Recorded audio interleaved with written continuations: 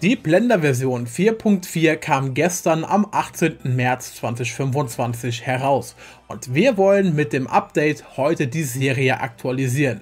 Wir laden uns Blender 4.4 herunter, ich zeige dir wo du es finden kannst, was es Neues gibt und wann die 4.5 kommt und wie du natürlich den Entwicklungsfortschritt verfolgen kannst. Denn ab heute heißt es herzlich willkommen zu Blender 4.4 in 10 Minuten erklärt.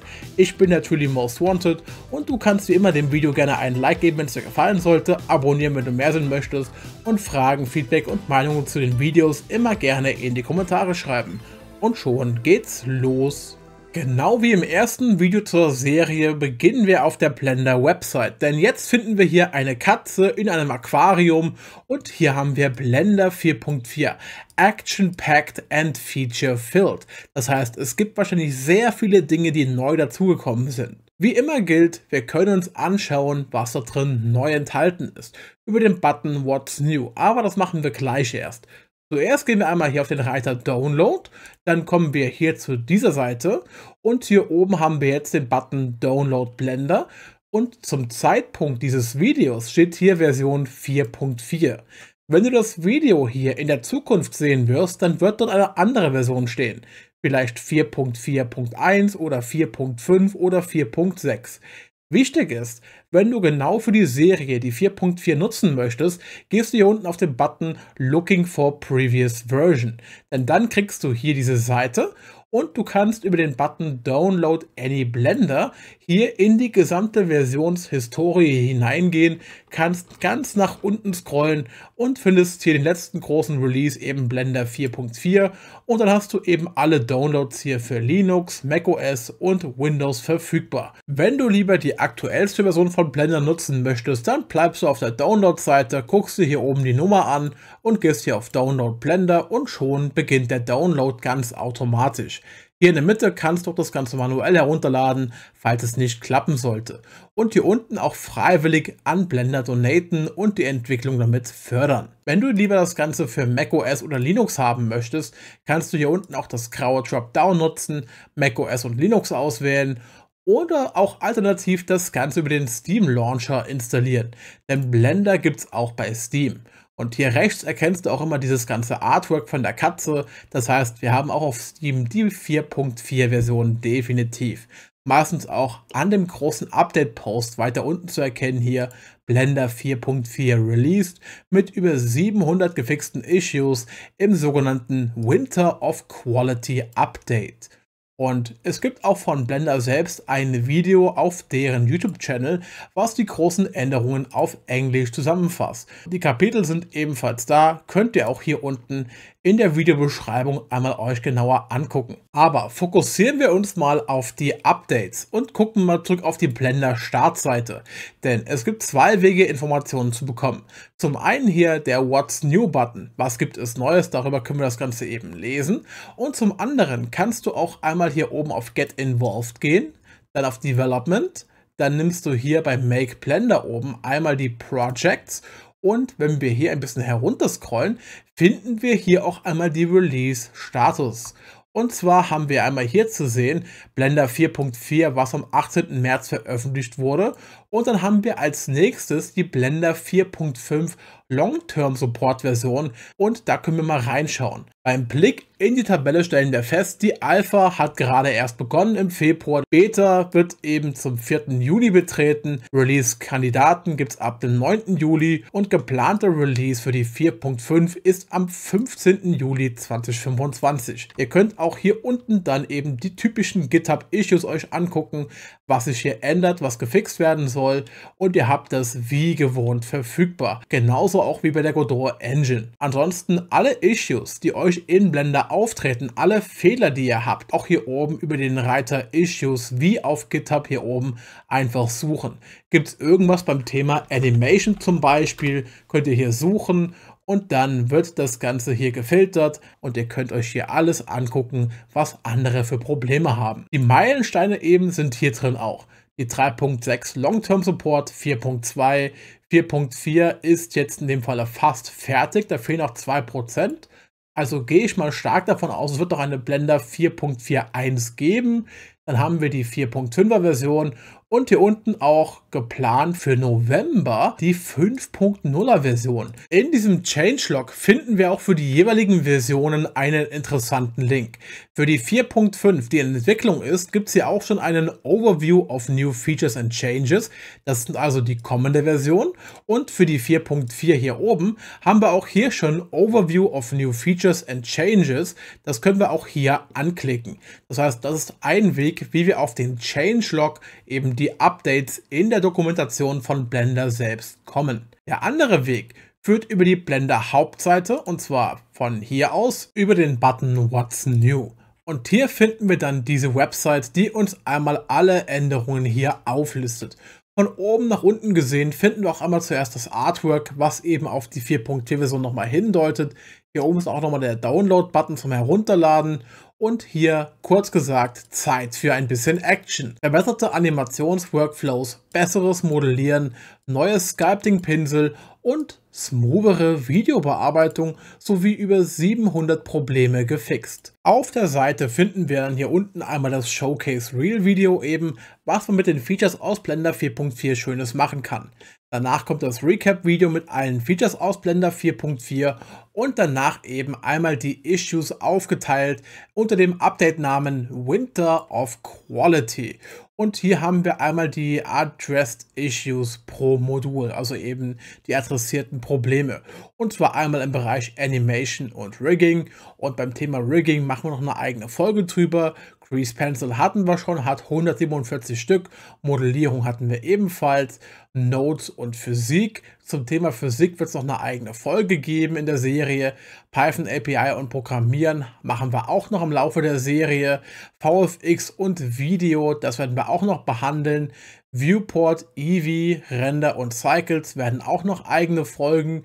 Sculpting haben wir auch noch nicht gemacht. Da kommen wir noch zum Lauf der Serie.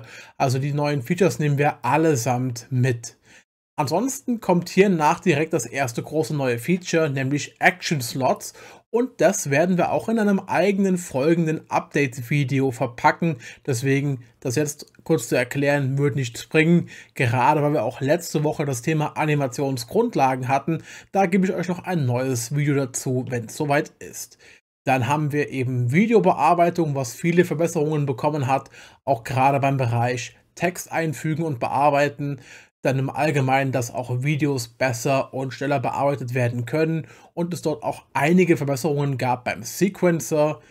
Dann kommt die Kategorie des Modellierens, eben einmal Pole Position in der Sinn Pole Position im Sinne von Polygonpositionen, Influencer, Einfluss auf Geometrien, Verhalten beim Auflösen von Kanten und Punkten und dann haben wir auch hier unten schon Sculpting mit einem neuen großen Pinsel und zwar dem Ebenenpinsel.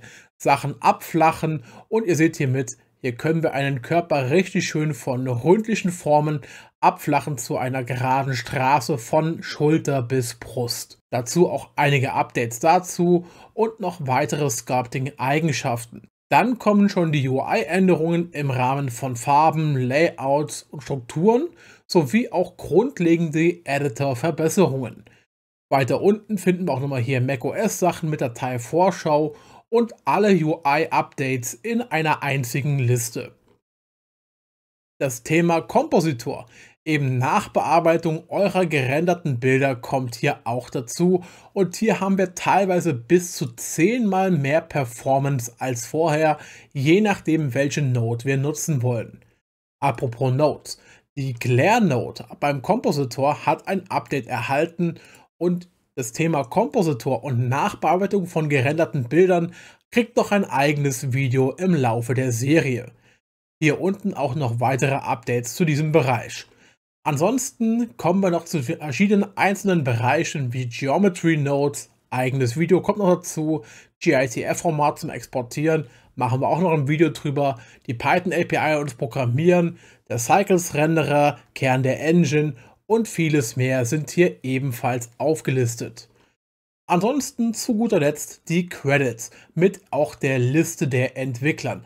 Alle, die auf GitHub mitarbeiten, werden hier für 4.4 und auch allgemein für die gesamte Zeit seit Oktober 2002 aufgelistet. Das heißt, jeder Einzelne, der hier seinen Teil dazu beiträgt, wird hier natürlich auch mit den passenden Commits und Updates Credits gegeben. Kommen wir jetzt zur Installation. Wie gewohnt, wenn Blender runtergeladen ist, einfach den Installer starten, auf Next hier gehen, den Ort aussuchen, wo das Ganze hin soll, dann hier auf Weiter drücken und den Installer einfach ausführen.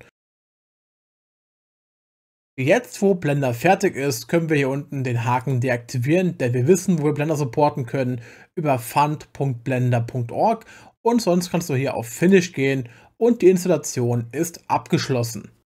Beim ersten Start von Blender 4.4 kriegst du diesen Bildschirm hier in der Mitte für die erstmalige Einrichtung. Und wichtig ist hierbei, wenn du Blender 4.3 auf deinem Rechner bereits hattest, kannst du hier oben über Import 4.3 Präferenzen alle Sachen in Blender 4.4 reinkopieren ob du jetzt die Kuchenmenüs hattest, gewisse Einstellungen hier unten wie Sprache, Aussehen, Keymapping, das kannst du alles hier einfach importieren mit einem Klick. Da wird es kurz einen kleinen Ruckler geben und wenn dann alle Einstellungen da sind, hast du die hier auch in Blender 4.4. Wenn du überprüfen möchtest, ob noch alles genauso ist, wie es vorher in Blender 4.3 war, teste mal einzelne Features aus. Zum Beispiel, hattest du das Kuchenmenü aktiviert gehabt in Blender 4.3, halt doch mal Tab gedrückt, beweg die Maus und du kannst hier den Modus wechseln für das ausgewählte Mesh. Oder geh doch mal oben links in Edit Präferenzen und schau mal hier im Reiter Get Extensions, ob all deine Erweiterungen hier noch vorhanden sind, die du auch vorher in Blender 4.3 genutzt hast. Normalerweise kommen die ohne Probleme mit. Wenn nicht, geht in Edit Präferenzen und guckt euch im Reiter Interface, Viewport, Lights, Editing, Animation und Co. alles an und aktiviert die passenden Einstellungen. Ich habe im zweiten Video dieser Serie hier alle Einstellungen, die sehr wichtig sind, mal aufgelistet. Wenn du in Blender neu bist und du möchtest dir das mal angucken, schau gerne rein. Es ist zwar Blender 4.3, aber alte Sachen verschwinden meistens nicht. Es kommen höchstens neue hinzu. Wenn du jetzt ein Projekt aus Blender 4.3 öffnen möchtest, sollten die auch hier oben aufgelistet sein. Über Datei zuletzt geöffnet, finden wir meinetwegen hier Blender Episode 8 mit dem Grease Pencil. Und wenn wir jetzt hier Don't Save auswählen, dann öffnen wir die Blend-Datei aus dieser Folge hier mit Blender 4.4 über das Thema Grease Pencils. Es wird einen kleinen Moment dauern, bis sich die Materials und Co. aktualisieren. Aber ganz wichtig ist, ihr könnt, wenn ihr das mit Blender 4.4 öffnet, nicht mehr downgraden. Also Blender ist am besten immer nur aufwärtskompatibel, nicht abwärtskompatibel. Deswegen, jetzt ist dieses Projekt in der 4.4 Version, speichert es am besten vorher ab als Backup in der 4.3 und macht es erst dann in der 4.4 auf. Ansonsten waren das jetzt alle Sachen, die ihr wissen müsst zum Upgraden eurer Blender-Version. Ich hoffe, es hat euch gefallen und geholfen. Wenn ja, lasst gerne einen Like da, abonniert, wenn ihr mehr sehen möchtet. Freut euch auf weitere Videos rund um Blender 4.4 Neuigkeiten, Updates und ab sofort eben Blender 4.4 in 10 Minuten erklärt. Ich sage vielen Dank fürs Zuschauen und hoffentlich bis zum nächsten Mal.